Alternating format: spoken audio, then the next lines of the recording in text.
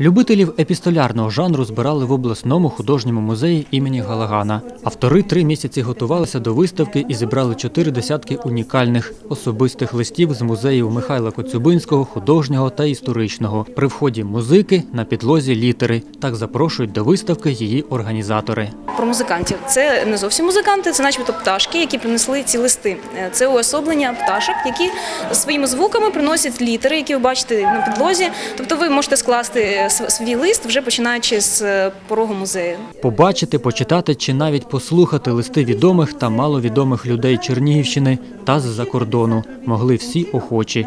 Виставили і частину листів Михайла Коцюбинського.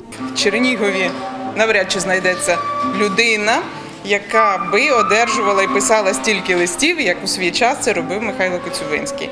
Е, Напевно, більшість, е, хто цікавиться творчістю Коцюбинського, знає, що його епістолярна спадщина більше томів налічує, ніж його художні твори.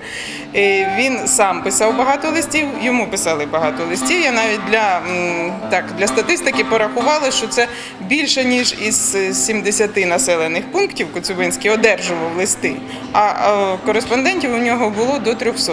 Для тих, хто призабув, як виглядає листування, показали зміст конвертів великих чернігівців. Вони писали про долю народу, кохання або ж нелюбов і про важливі події своєї епохи. Лист, от люди пишуть, колись більше писали, колись менше писали, і листівочки нам колись ми один одному дарували в школі. От, але дійсно настільки цікаво це все зроблено і настільки цікава тема. А головне, ну те, що дійсно нам зараз не вистачає безпосереднього спілкування. Виставка переносить глядачів в епоху романтизму, листування та відвертих зізнань на папері. Повернутися до неї може кожен. Виставка триватиме місяць.